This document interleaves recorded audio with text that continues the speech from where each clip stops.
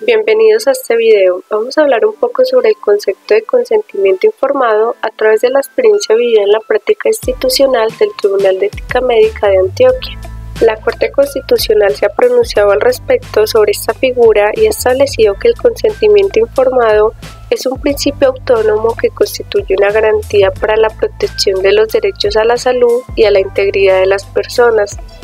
además de que hoy en día tiene la categoría de derecho fundamental. Ahora bien, en el marco normativo, la Constitución Política establece que se garantiza a toda persona la libertad de informar y recibir información veraz e imparcial. Por su parte, para el caso de la medicina, la Ley 23 del 81 deja explícita la obligación del médico de pedir el consentimiento al paciente para aplicar los tratamientos médicos y quirúrgicos que considere indispensables y que puedan afectarlo física o psíquicamente. Además, el decreto 3380 del 81, quien regula esta ley, establece la obligación del médico de dejar constancia en historia clínica de la advertencia del riesgo previsto o de la imposibilidad de hacerla. Cabe resaltar que la norma no trae consigo los parámetros legales para determinar cuándo el consentimiento es o no admisible por la lex artis. Dentro de los elementos del consentimiento tenemos que este debe ser libre y voluntario que se traduce en la autonomía del paciente. Este lo es cuando comprende la acción por la que está dando el consentimiento y no se ve afectado por factores que busquen reducir su libertad de decidir, verbal y excepcionalmente escrito, cuando se trate de aquellas actuaciones que presentan una mayor peligrosidad potencial para la vida o salud del paciente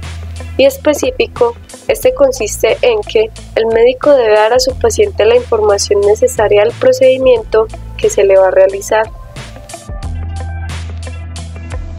Durante nuestra práctica, tuvimos un acercamiento a un caso concreto en el cual debíamos proyectar al magistrado instructor un informe de conclusiones, en donde se solicitaría a los magistrados de la sala plena del tribunal si continuar con una formulación de cargos contra un profesional de la salud o si solicitar la preclusión de la investigación.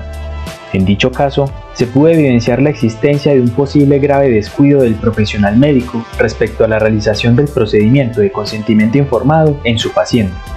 ya que le otorgó información técnica minutos antes de la cirugía estética, haciéndole firmar un documento con espacios en blanco lo cual se concluyó con una proyección de solicitar formular cargos por posible vulneración a la Lex Artis, en cuanto a la omisión de agotar el debido consentimiento informado.